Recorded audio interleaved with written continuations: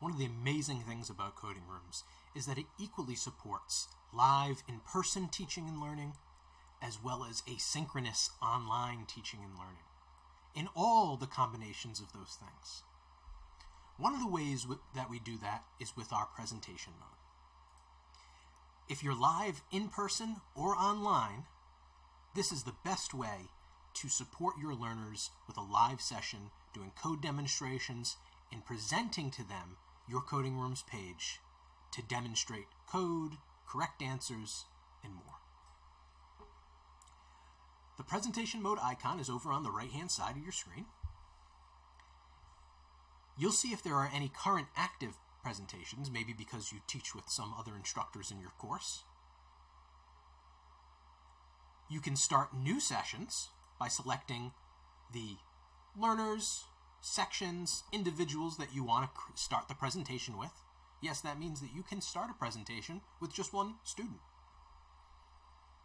And then you can choose to have the presentation view where you, we split the screen, video conferencing, and following the presentation.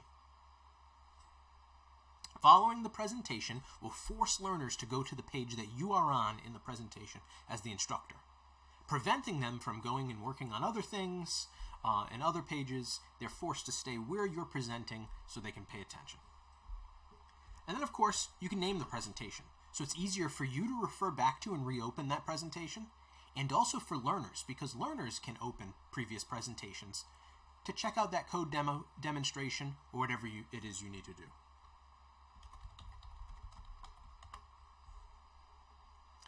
Past presentations you can close if you don't want learners to open them, and you can also start up past presentations to continue where you left off. Start a starting a presentation is easy. Just click Start New Presentation. Your screen will split into the presentation view. And if you have video conferencing on, the video conferencing window will show up.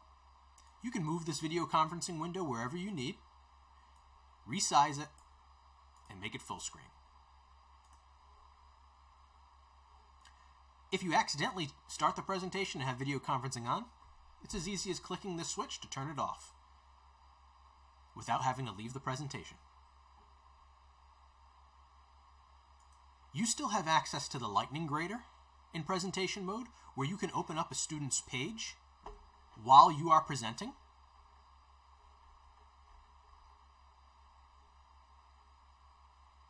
And you can also open the grid view while you're presenting to check out all the different learners in a grid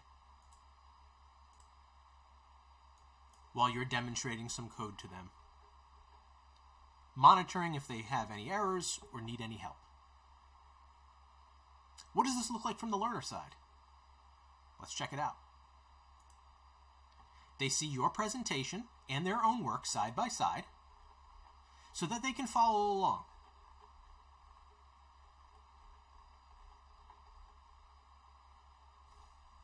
For example, Here I am, the teacher, presenting some code. The student can see that in the presentation view. They can see me moving around, typing,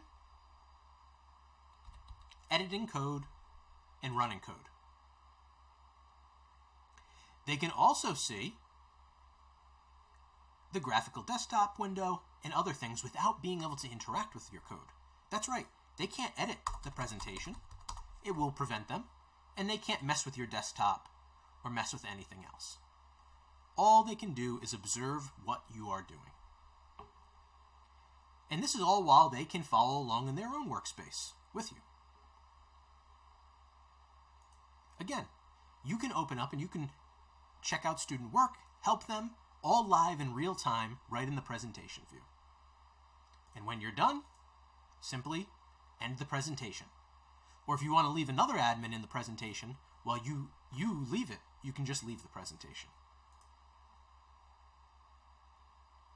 The most efficient way to present code to your learners is right here with presentation mode and coding rooms.